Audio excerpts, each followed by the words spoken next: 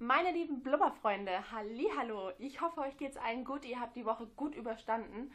Ähm, der April ist da, Wahnsinn, wie schnell doch die Zeit schon wieder vergangen ist. Ich werd verrückt. ich kann mich jedes Mal wieder drüber wundern, wie schnell so eine Woche vergeht und ähm, wie schnell so ein Monat an einem vorbeifliegen kann. Verrückt. Ich komme gerade vom Shoppingbummeln mit meiner Mom. Wir waren spontan ein bisschen unterwegs. Sie wollte sich einen neuen Pullover kaufen. Ich eigentlich nichts, habe mich dann aber doch ähm, mitreißen lassen. Habe mir unter anderem diesen schönen Ring hier gekauft. Ähm, ich stecke ihn mal an. So. Ich mag so zierliche Ringe voll gerne. Und der hat jetzt 4,95 Euro gekostet. Äh, und ich fand den wirklich süß. Der durfte dann mal mit. Ansonsten habe ich noch dieses Schnäppchen hier ergattert. Das ist eine Bluse, wie man unschwer erkennen kann. Dank der neuen Kameraqualität, Bildqualität funktioniert das jetzt ja auch so ein bisschen. Ähm, die hat jetzt hinten auf dem Rücken Knöpfe, sodass es ein bisschen aussieht auf den ersten Blick vielleicht, dass man die Bluse falsch rum anhätte. Ist aber nicht so. Dieses Detail gefällt mir super gut und ähm, die war runtergesetzt auf 7 Euro. Äh, hallo, wer schlägt denn da nicht zu? Dann war ich noch das erste Mal, ich glaube, das war das erste oder zweite Mal in meinem ganzen Leben, dass ich in einem Reformhaus war. So. Und da ich jetzt seit knapp einem Jahr, im Mai wird es dann ein Jahr sein, äh, Vegetarierin bin, habe ich jetzt mal so veganische, vegetarische Sachen eingekauft. Nicht viel, einfach nur mal so ein bisschen, um zu probieren. Zum einen ist das Vegans, ich dachte, das, jetzt habe ich mich total verlesen. Also ich dachte, da steht vegan drauf, aber das heißt vegansliches Salami. Äh, klingt komisch. Ähm, Bio, Organic, Vegan und ähm, ist von der Firma. Ihr könnt das vielleicht erkennen. Die hatte ich schon mal bei einer Kundin probiert, die ist nämlich auch Vegetarierin und ähm, hat mir dann mal so eine vegetarische Salami angeboten und die ist gar nicht mal so schlecht. Jetzt habe ich sie selbst gesehen und musste gleich mal eine Packung mitnehmen. Ist nicht so günstig wie alle veganischen, veganen äh, Produkte. Aber ab und zu kann man sich das schon mal gönnen, wenn man so ein bisschen den Jeeper vielleicht auf Salami-Geschmack hat, ist das doch eine gute Alternative. Ich habe schon andere vegane oder auch vegetarische Produkte probiert und die haben mir nicht so geschmeckt. Aber dieses hier, super. Dann gab es dann noch ein Regal mit so Pasteten, so Brotaufstrichen. Einmal Kräuter und einmal Olive. Ich finde, das klingt ganz nett, ganz lecker pflanzlicher Brotaufstrich mit Nährhefe, Trinkwasser, pflanzliches Fett, grüne Oliven, Kartoffelstärke, Zwiebeln, Gemüse, Paprika, Sonnenblumenöl, Tomatenmark, Meersalz, Sellerie, Gewürze, Hefeextrakt, Kräuter, bla bla. 50 Gramm sind drin, haben 1,19 Euro gekostet. Das fand ich okay, einfach mal so zum Probieren. Und da freue ich mich schon drauf. Vielleicht gibt es das morgen zum Frühstück. Mal gucken. So, das ist das, was ich mir gekauft habe. Nicht viel, wir waren auch nur ganz kurz unterwegs. Es ging, wie gesagt, um den einen Pullover. Ich habe jetzt hier neben mir ein Glas stehen. Sieht lecker aus, oder? Tolle Färbung. Und zwar habe ich heute Morgen via Instagram gefragt, wie ihr euren Kaffee trinkt. So, und es hat der liebe Christian mir geschrieben, dass er von der Carla von Lovely Books empfohlen bekommen hat, einen Latte, also Chai Latte zu trinken, zusätzlich mit Espresso. Und ich fand das sehr interessant, habe mir so einen jetzt auch mal gemacht. Wir haben so eine Tassimo-Maschine und ähm, werde das Kunstwerk jetzt mal zerstören und live vor der Kamera probieren. Also es riecht auf jeden Fall nach Chai Latte und vielleicht noch ein bisschen herber. Okay. Es schmeckt sehr weihnachtlich, aber das hat Chai Tee ja irgendwie so an sich mit den ganzen Gewürzen. Und es ist ein bisschen bitter. Also ich würde da jetzt vielleicht noch ein bisschen Zucker rein tun. Dann wäre es aber sicherlich sehr lecker. Okay, also lieber Christian, vielen Dank für den Tipp. Ich werde da jetzt gleich noch mal ein bisschen ähm, nachsüßen und noch mal probieren. Aber ich denke, das war mal ein ganz neues Geschmackserlebnis. Vielen Dank. So, dann legen wir los mit dem normalen Wochengeblubber. Nein, Quatsch, nicht normal. An dieser Stelle möchte ich mich mal bei euch bedanken, denn ähm, ich habe jetzt die genaue Zahl nicht mehr im Kopf, aber wir gehen steil auf die 400 Abonnenten zu. Und das ist total Wahnsinn. Ich glaube, heute Nacht sind fünf neue Abonnenten dazugekommen auf einen Schlag. Das, sowas haut mich dann immer um, wenn ich E-Mails bekommen mit den Nachrichten und finde das absolut unglaublich. Also vielen, vielen Dank für, eure, für euer Interesse, für euer Feedback, für eure lieben Kommentare und Nachrichten und äh, für eure tollen Bewertungen. Ich freue mich da immer so riesig drüber und finde es toll, dass wir jetzt mittlerweile hier bei YouTube fast 400 Blubberfreunde sind. Gut, dann legen wir mal los. Was habe ich diese Woche gelesen? Begonnen hat die Woche eigentlich mit zwei Büchern. Hatte ich euch, glaube beim letzten Mal schon erzählt. Ähm, zusammen mit der Kerstin habe ich in einem Leseduett, das übrigens dieses Wochenende noch auf meinem Blog, Blog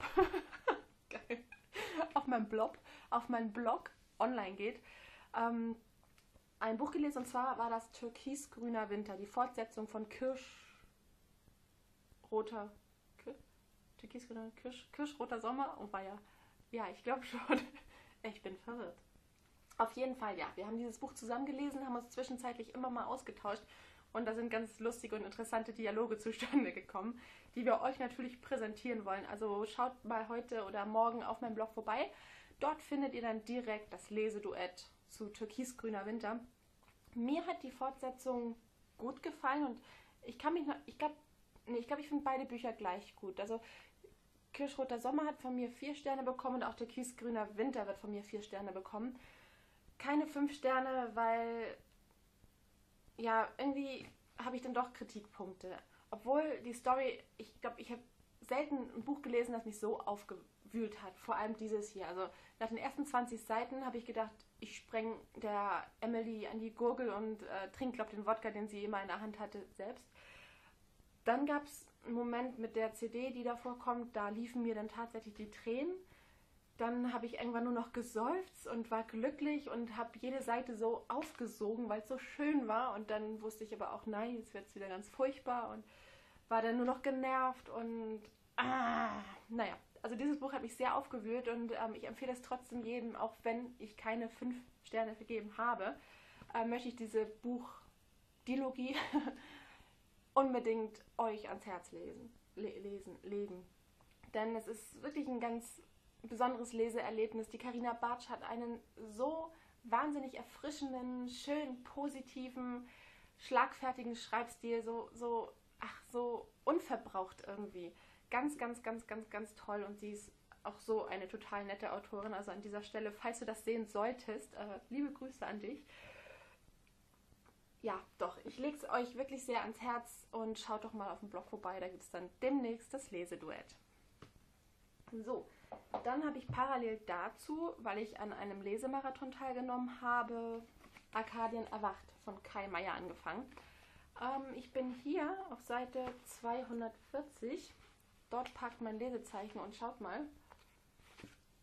So, das Lesezeichen ist jetzt draußen, denn ich habe Arkadien erwacht abgebrochen.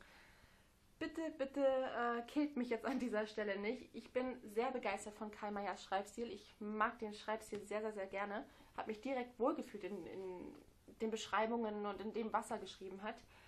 Dann äh, fand ich das Setting toll. Also die Insel Sizilien als Schauplatz zu wählen, ist absolut gelungen. Er hat viel beschrieben und ich habe mich wirklich auf Sizilien gesehen. Und dann die Protagonistin Rosa, auch eine klasse und interessante Persönlichkeit, über die ich so, so, so, so, so gern mehr erfahren würde.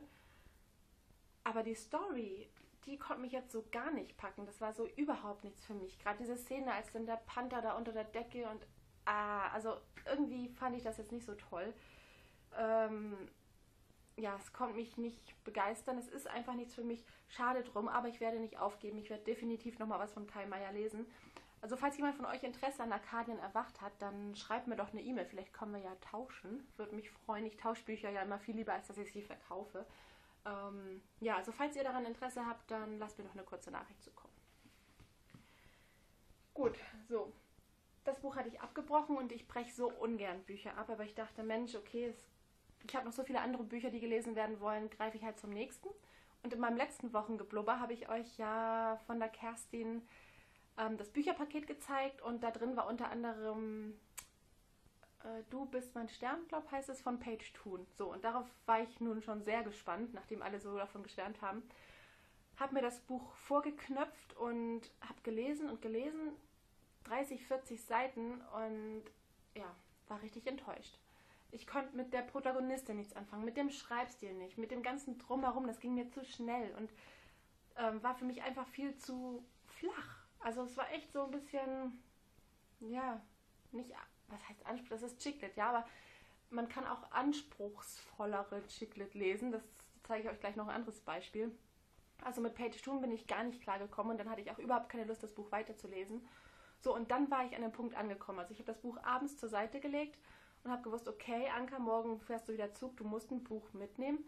Aber ich konnte mich an dem Abend noch nicht entscheiden, weil ich wusste, wenn du jetzt nicht das richtige Buch wählst, dann steckst du mitten in einer Leseflaute. Weil zwei Bücher hintereinander abzubrechen, ist eigentlich ein absolutes No-Go. Bei mir ist mir noch nie passiert.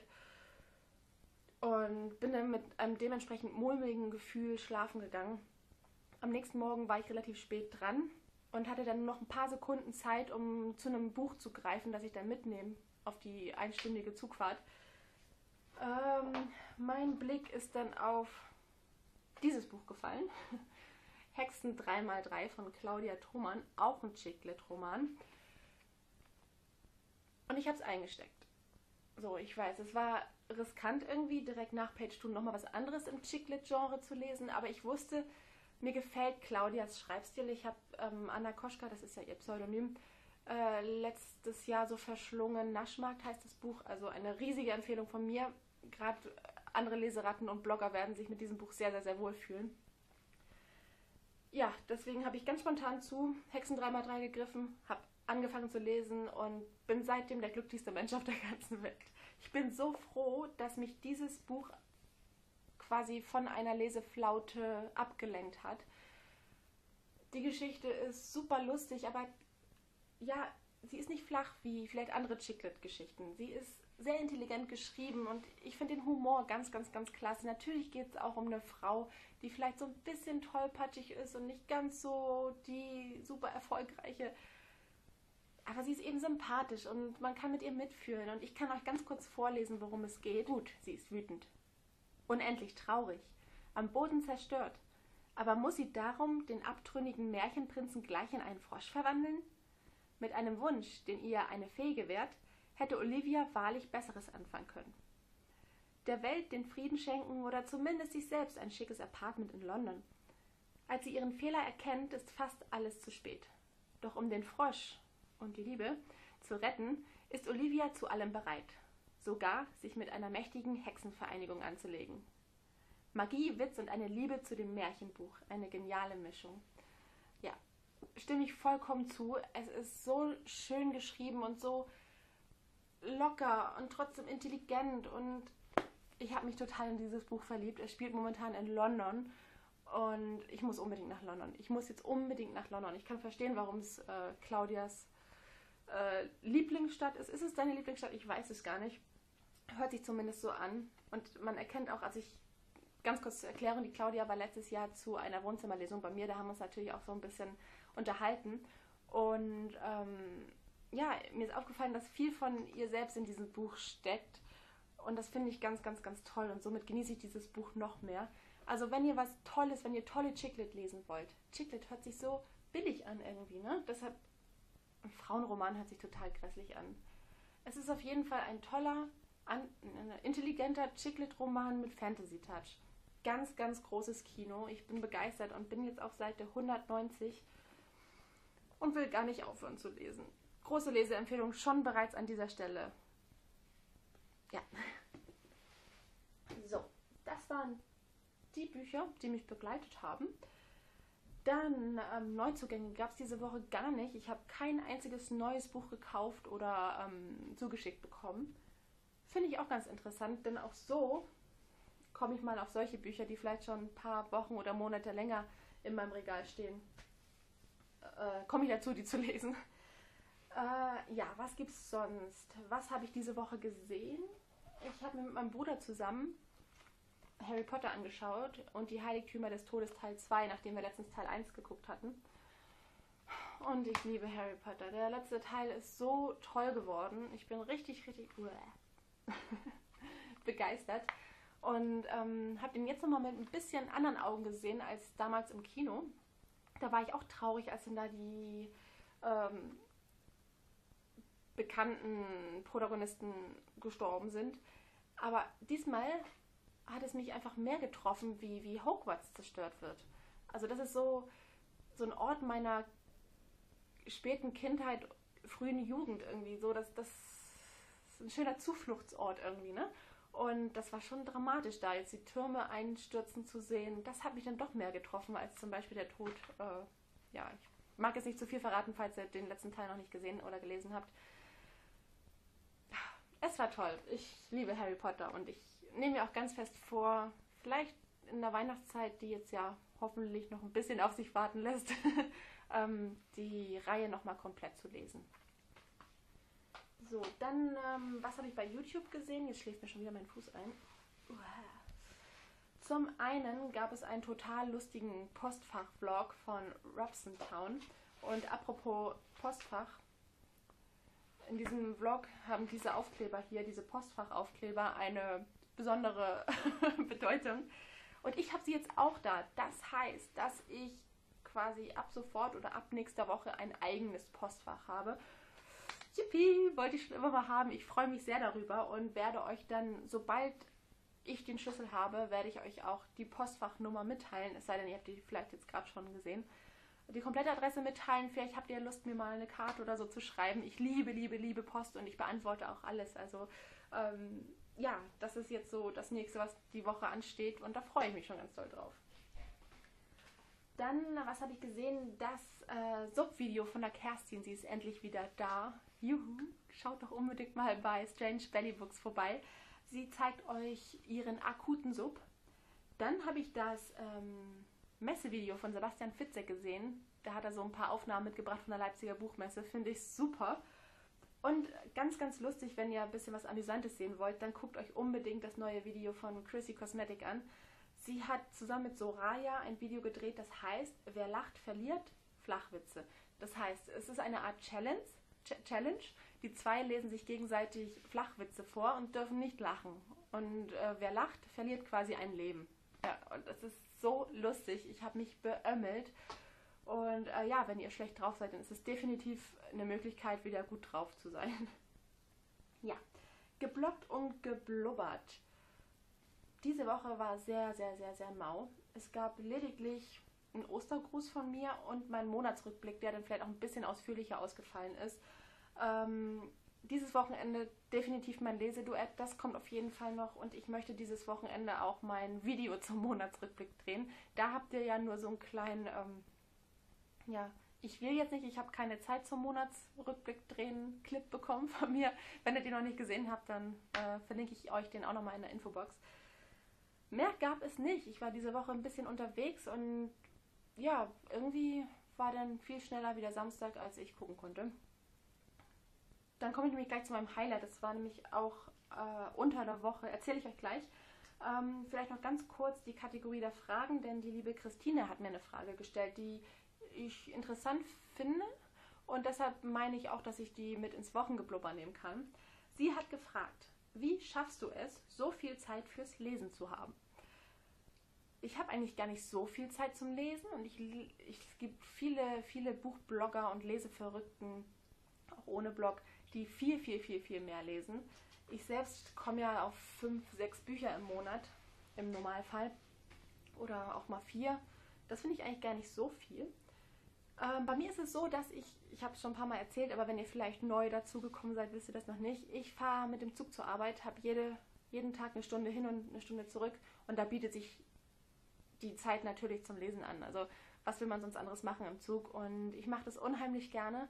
Abends lese ich dann nicht mehr so viel, es sei denn, das Buch fesselt mich total. Ich muss wissen, wie es weitergeht, dann lese ich auch abends. Ansonsten hauptsächlich im Zug und da, wenn ich jeden Tag zur Arbeit fahre, Montag bis Freitag, sind es pro Tag zwei Stunden und da kommt dann schon was zusammen. So, ähm, Post. Post der Woche kann ich euch noch zeigen. Da habe ich ein bisschen was bereitgelegt. Postfach hatte ich euch erzählt. Dann hat mir der liebe Robert noch mal was geschickt. Einmal äh, sein äh, Heilmittel oder wie hat das ausgedrückt? Warte mal, steht doch da drauf. Äh, sein Hausmittel natürlich. Sein Hausmittel gegen Erkältung. Und das fand ich total süß, also vielen Dank. Und ähm, weil, die, weil der Umschlag noch nicht voll genug war, hat er mir nochmal eine DVD bei, ähm, beigelegt. Äh, jetzt ist aber gut. ich freue mich trotzdem riesig, Robert. Vielen, vielen, vielen Dank.